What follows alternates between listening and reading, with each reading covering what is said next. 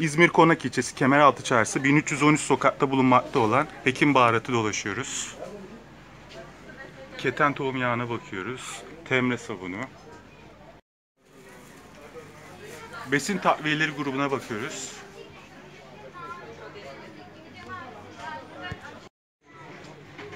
Hekim Baharat'ın kendi üretmiş olduğu toz halindeki zayıflama içeceğine bakıyoruz.